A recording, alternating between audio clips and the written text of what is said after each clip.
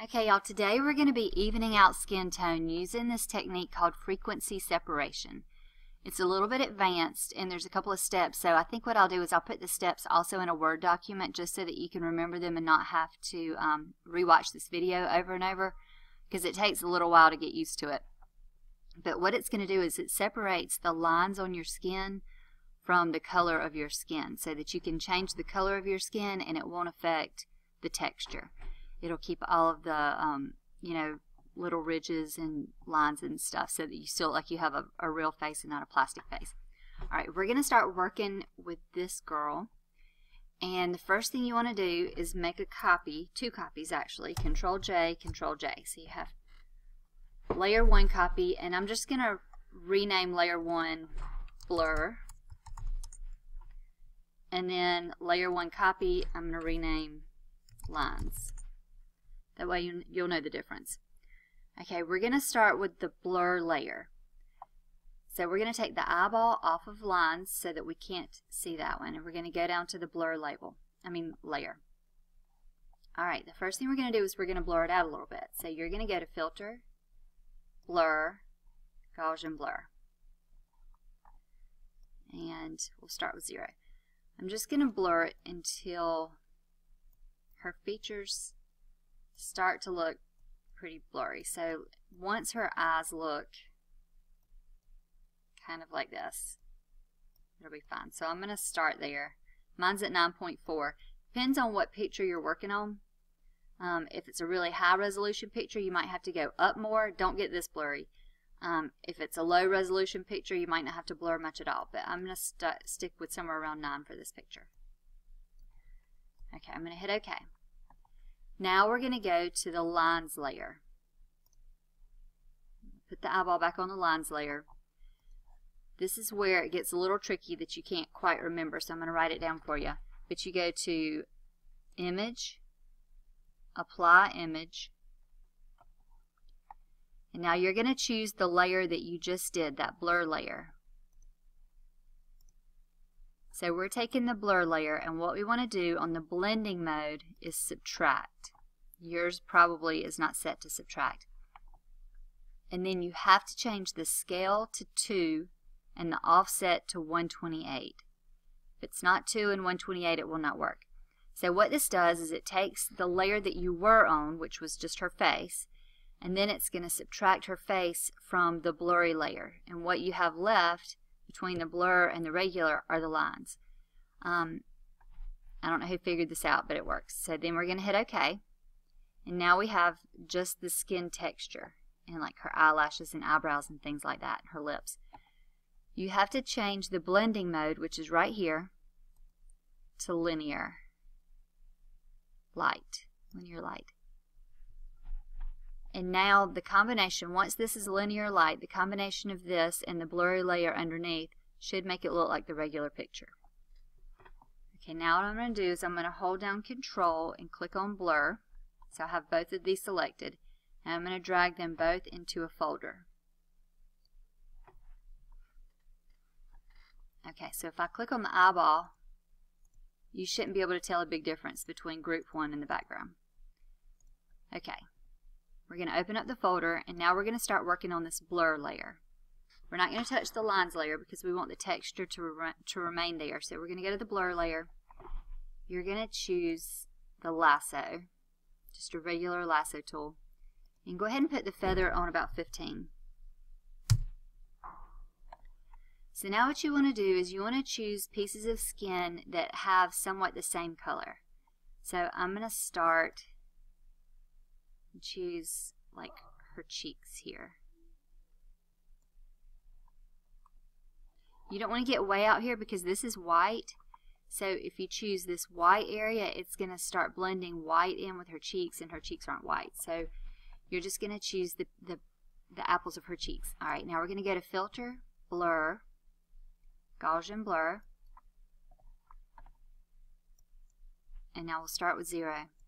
As you start increasing the blur, you'll notice what it's doing is blending the colors together. Now if you get too much. See, it starts taking all this white in there, so you don't want to get too much. Probably around 20 is good. And then hit OK. Okay, and then Control D. Now if I click the eyeball on the layer on the folder, you should be able to tell the difference before and after. Okay, let's get back to the blur layer and we'll do the other cheek.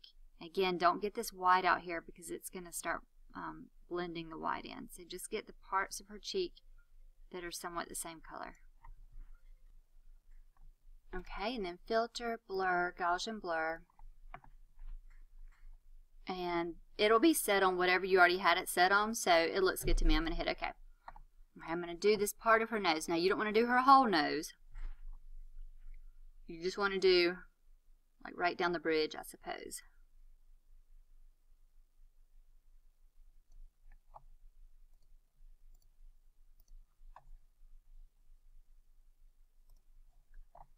Okay. And then on the forehead, you don't want to get too close to the eyebrows. I'm going to get kind of close to the eyebrow and I'll show you why. Because we have a feather on it, so it's not selecting just inside this line. Since it's got a feather on it, it's kind of selecting a little bit on the outside and a little bit on the inside so that it feathers out and doesn't have a sharp line. So if you get too close to the eyebrows or any other thing like the eyeball, then it's going to blur some of that in. It doesn't look so bad right now, but I guess, you know, if I got more, you can see how it turns dark. It's because it's getting some of this eyebrow in there.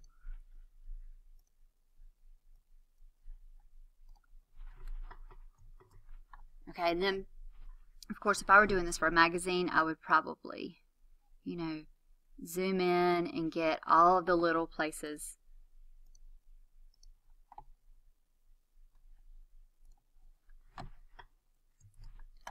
but for now, I'm just going to leave it like that. So now I'm going to look at this folder group. If I look at the before and the after, you can see how it looks natural, but it looks a lot better. Okay, I'm using Daniel's picture because now you're going to open your picture and Daniel volunteered. The hardest thing about yours is going to be deleting this green background. Alright, let's try it. We're going to go to select color range. You're going to click on the green background with this eyedropper and then increase the fuzziness. And then hit OK.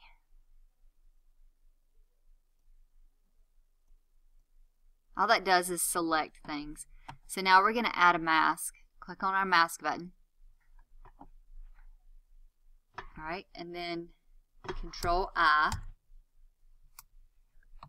Now you can see that Daniel is somewhat see-through. Alright, so we're just going to take our little white paintbrush here. Make it kind of fuzzy. Oh, not that small. It's going to take forever. A little bit bigger. Alright, and I'm just going to start painting. Of course, we're on the mask. Painting it white because it had selected and turned black some of his face. You don't want to get too close to the edge because we're going to do something else for that in just a bit.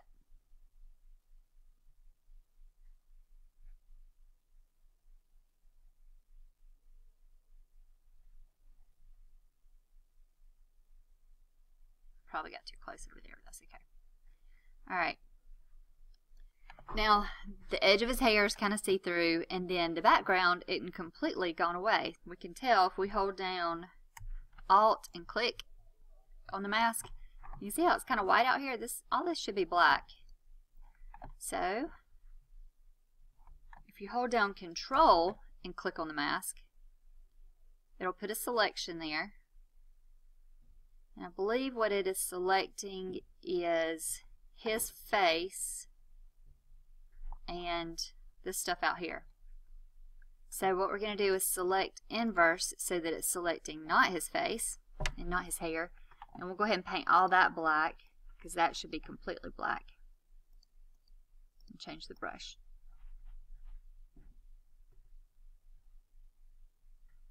Whoops, I got outside of it.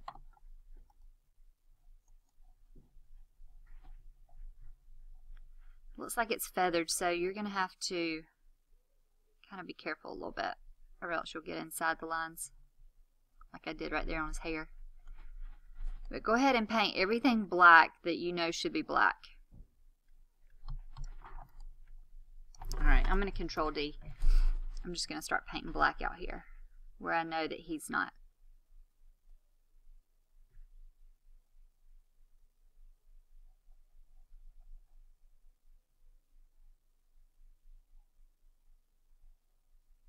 Then get all this black so that we're taking all the green away. This might be a long process because you might have to zoom in and get all these little crooks and crannies. But, um, alright, I'm going to hold down Alt again. I'm going to click back on the mask so we can see. Alright, so I can see where I need to zoom in. Whoops. And you see where you'll need to zoom in. And I'm going to have to delete, or not delete, but paint with a smaller brush this area right here to get rid of the green. I'm painting black to get rid of the green. And then I'll have to go in and paint white on him to make him come back. So this will be the hardest part. It's making it look good. You might have to spend some time making it look good. Alright. Um, I'm not going to do that right now. I'm not spending time making it look good. But you will on your picture because then... Whoops you're going to do the frequency separation on your own face. Alright, so after you get finished, then you're going to Control J, Control J. You will take that middle layer, take the eyeball off the first one. We'll call this middle layer blur. The second layer skin lines. Take this middle layer, filter, blur, Gaussian blur. You're going to do exactly what you did a while ago. Um, there's the bell. That means our tutorial's over. Then you're going to go to the lines and you'll go to image, apply image. You're going to go to the blur, subtract 2, 128, hit OK. Change this to linear. Then you'll go to the blur layer and we'll start over with this process of doing filter, blur, Gaussian blur. Oh, I hit cancel by accident.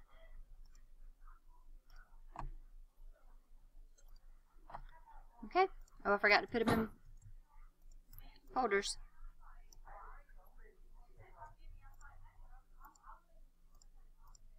There we go.